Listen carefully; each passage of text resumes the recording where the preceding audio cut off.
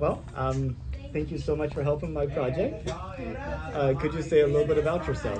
Well, my name is Gentiane. I'm from Germany. I'm an exchange student from Italy, and I'm 16 years old. And yeah, And you just saw uh, Space Center Houston, yes, I did. and uh, now you're in Frenchies, filled with like space things. Yes, Um, well, did you know that NASA is planning to send astronauts back to the moon? yes, I do. Did you know that before today? No, I didn't. I just know that the last time they went to the moon was 1972. So, yeah. That's right. Uh, very few people know that, so Yes. that's, that's good. Uh, what do you think about us going back to the moon?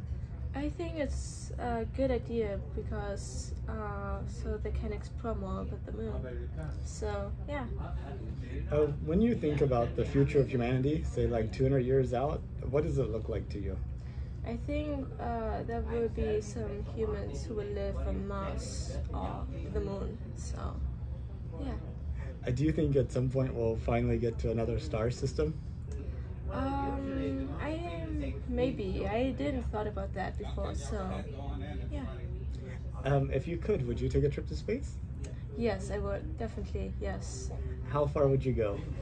Um, it depends because I have I'm scared of the height, so I do not know.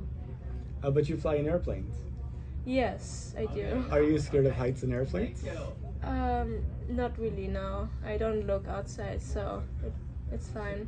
Oh, I'm scared of heights too, but I'm fine flying. So I, like, if I go to the edge of a tall building, I just like. Uh, Yes. But in a plane, I have no trouble. Yes. So maybe space capsule will be more like the plane than like the tall Yeah. building.